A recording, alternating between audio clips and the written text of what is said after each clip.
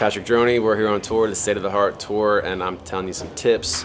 I'm trying to learn some as I go too, because I'm a little rusty here.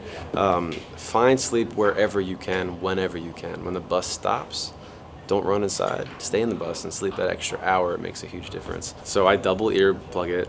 I have an eye mask over my eyes. Uh, I have noise canceling headphones. I try to just cancel out any noise that I can. Um, mattress pads are super important if you're on a bus, if you're on, you know, a bandwagon, whatever it is. Trying to have that support. It's, you know, it's, it's hard to sleep on a bus. It's hard to sleep in a car.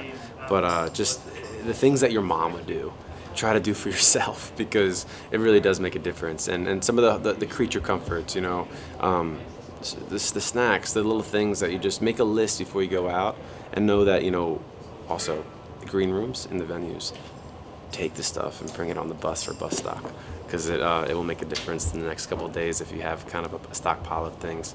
Don't tell anybody I told you that. For me, it's, it's all about vocal health, so it's, it's the throat coat, it's the honey, it's the teas. Um, you know, we always have, there's a nice bottle of wine at the end of the show. It's just to, some camaraderie is very important to celebrate the moments. We work very hard, so it's good to take the time with your friends and say this was great.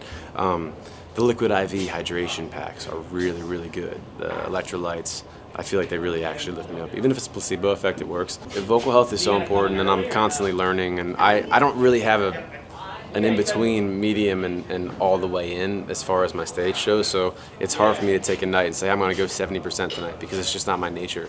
Um, I found uh, if you take a bottle of water and a straw, dump out half the water, take a straw, and start to hum between intervals one to a five or one to two, and just blow into the straw while you do that, the vibration in your vocal cords, it's a miracle what it does. It seems like you're not working, but you start singing and you're like, wow, my vocal cords really got worked out. So that's what we've been doing on this tour as our warm-ups, and it's been very helpful.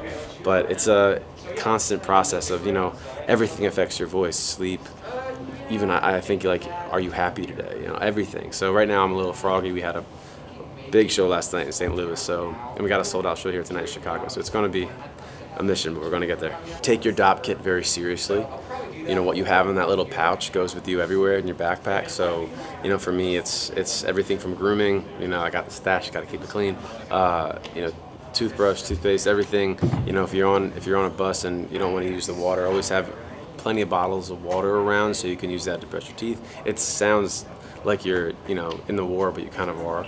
Um, so the Dopp kit, just just respect the Dopp kit for sure.